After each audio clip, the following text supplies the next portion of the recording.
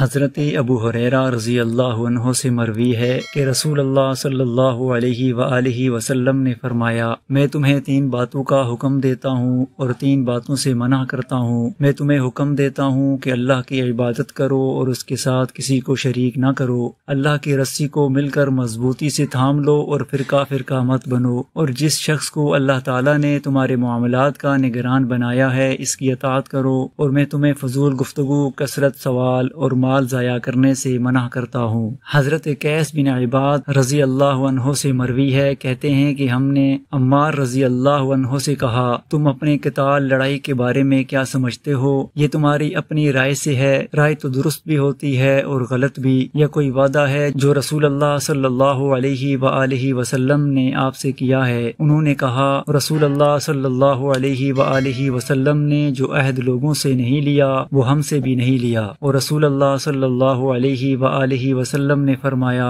मेरी उम्मत में बारह मुनाफिक होंगे, जो ना तो जन्नत में दाखिल होंगे और ना ही जन्नत की खुशबू सूंघ सकेंगे। जब तक ऊँट सुई के सुराख में से ना गुजर जाए, इनमें से आठ ऐसे हैं जिन्हें एक फोड़ा ही काफ़ी होगा। आग का एक शोला जो इनके कांधों में निकलेगा और आखिरकार इनके सीनों में ज़ाहिर हो जाएगा।